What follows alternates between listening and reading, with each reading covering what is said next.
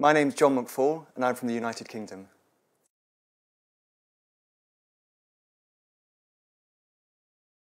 I've always been hugely interested in science generally, uh, and space exploration has always been on my radar. But having had a motorcycle accident when I was 19, like wanting to join the armed forces, having a, a disability was always a contraindication uh, to doing that. And then uh, in early 2021, when the uh, advert for an astronaut uh, with a physical disability came out, I read the person specification and what it entailed.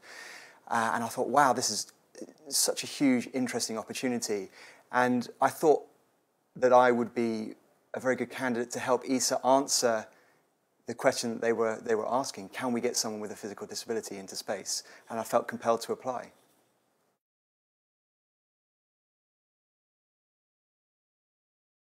I grew up in the south of, of the UK. Uh, originally, uh, I always wanted to join the army, uh, and that was my, what my life was sort of tailored around. I came from a military family. I went away travelling at the end of my teenage years and unfortunately had a motorcycle accident, uh, which resulted in the amputation of my, my right leg. I had a place at university to do sports and exercise science anyway after that, and I still took that place up. Um, I just happened to be an amputee. And then following that, I, uh, I taught myself to run again and I got back into sport because that was a huge part of my life. Subsequent to that, I, uh, I became a Paralympic athlete. And alongside that, I also um, uh, was studying a master's degree in sports and exercise science. Uh, I was fortunate, fortunate enough to take my sporting career uh, all the way to the Paralympic Games in Beijing, uh, where I won a bronze medal. Uh, and then I realized that I couldn't be an athlete for my whole life. I, I probably needed to get a proper job. Uh, so I thought, well, what, what would I have liked to have done had I been 15, 16 and, and not wanted to join the army?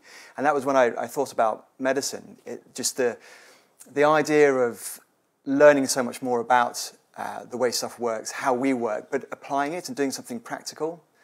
So at 28, I ended up going back to medical school and studied medicine for, for five years in Cardiff uh, and uh, graduated in 2014. And I'm now um, uh, an orthopedic surgical trainee coming towards the end of my um, registrar training um, and hopefully uh, aiming to be a consultant in the, in the future.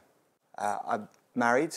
Uh, I've got three children who are nine, eight, and five, um, and I still live in the south uh, of the UK. I'm a big fan of mountain biking. Mountain biking and running really are, the main things I like to do. So, just uh, for me, running is a big part of my life, and I was always a runner before I lost my leg. And being able to run again as an amputee was such a huge uh, and important thing for me. And so that's kind of what I do on a, a reasonably regular basis, just to keep myself fit and healthy, really. But uh, I also do quite a bit of mountain biking.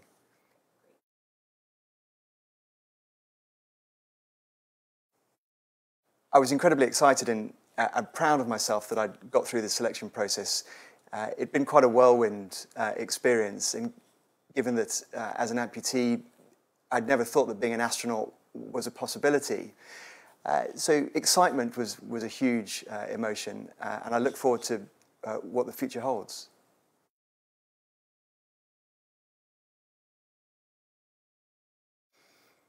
I think specifically, uh, I've got quite an interesting uh, focus or point of view for human space exploration, being the first cohort of uh, astronauts with a physical disability. Not only have we got to undergo astronaut uh, training, but we've got to undergo astronaut training and work out what it is about having a physical disability that makes it trickier and overcome those hurdles. So it adds an, an, additional layer of complexity to that.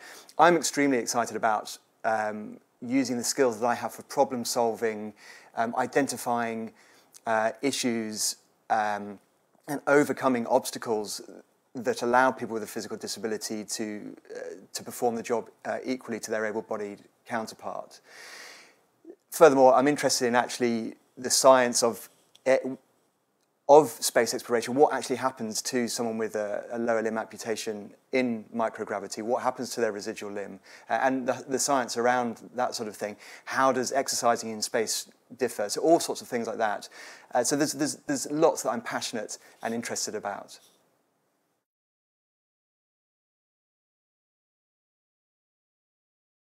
I think the message that I would give uh, to future generations is that science is for everyone, and space travel, hopefully, can be for everyone.